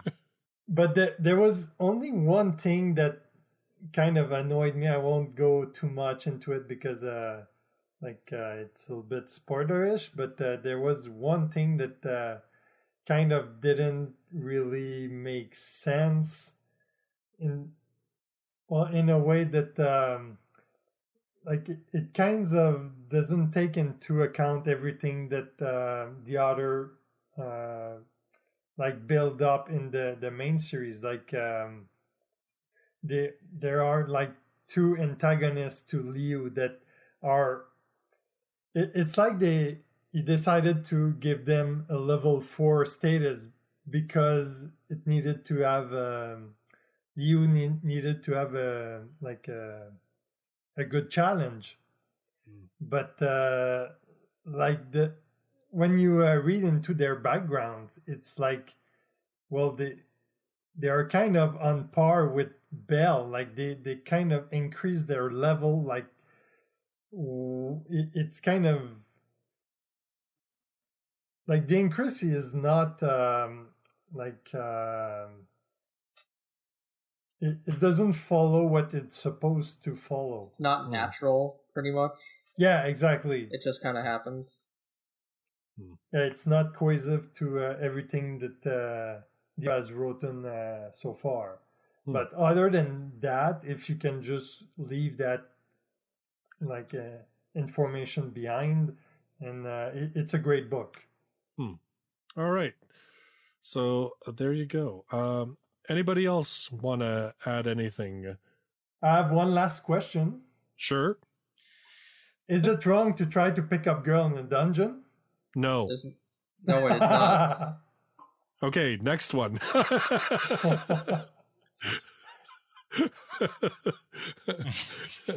as long as she's as long as she's a nice girl who isn't going to kick your ass, sure, go ahead. All right.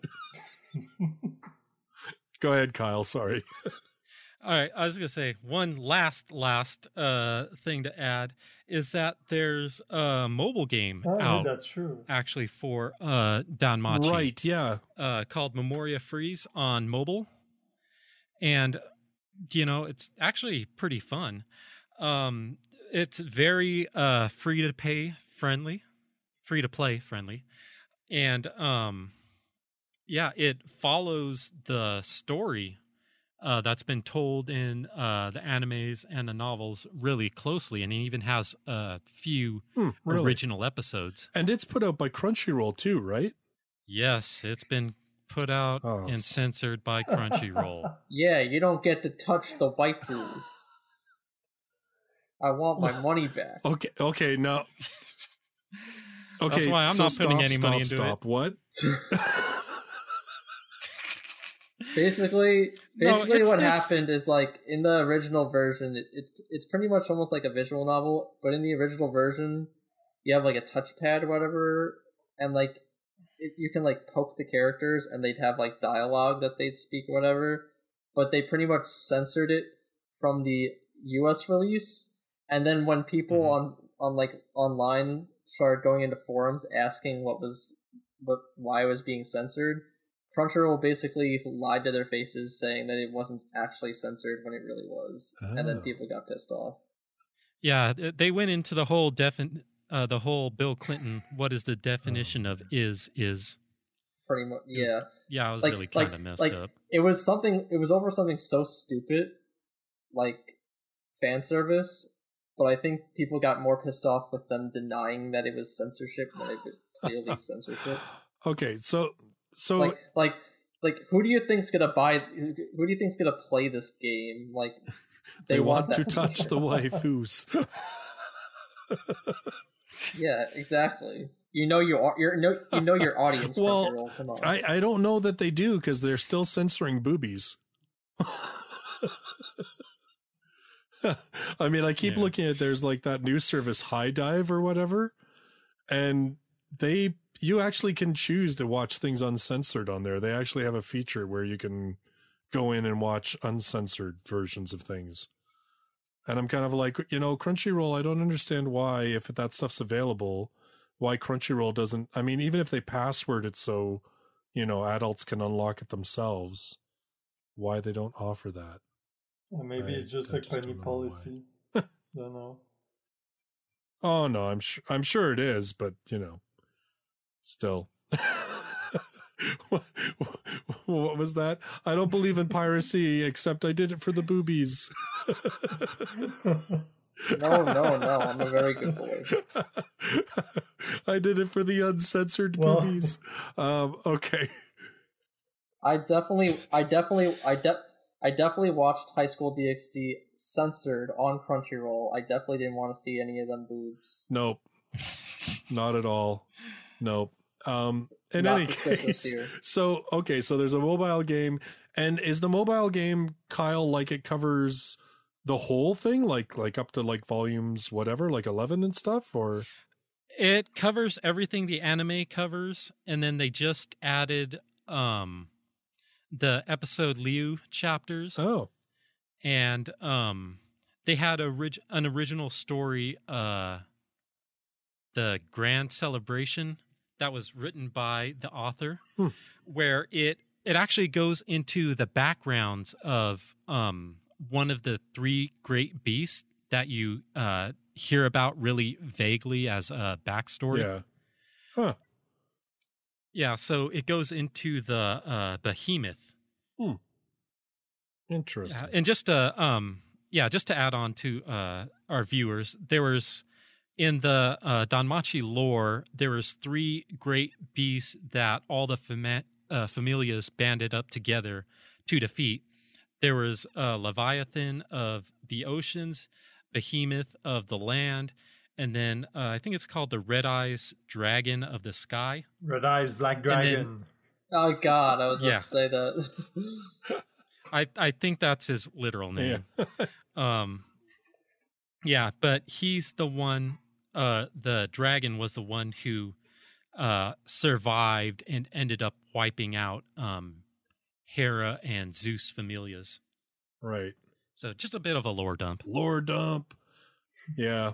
I, I do like that they're starting to explore more like the uh, lore and older and stuff like that. I I want them to do more of that.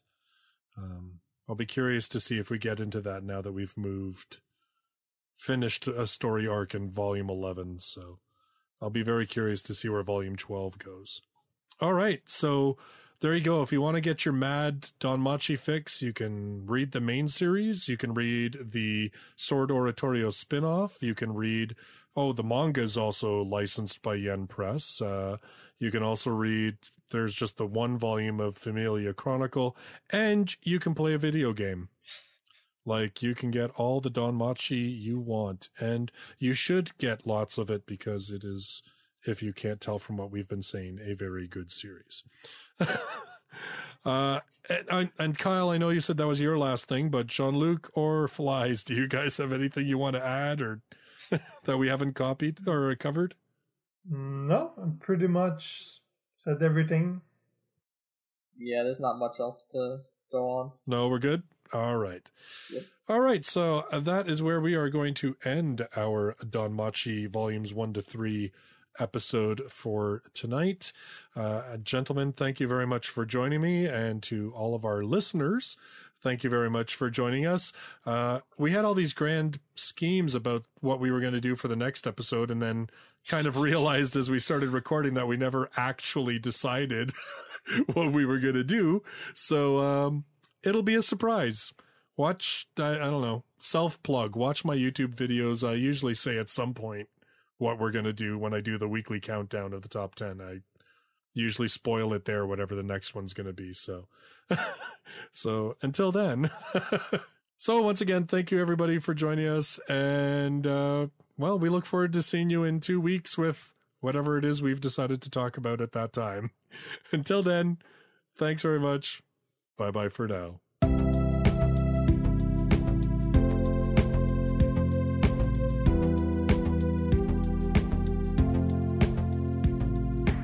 For show notes and related links, visit lightnovelpodcast.com.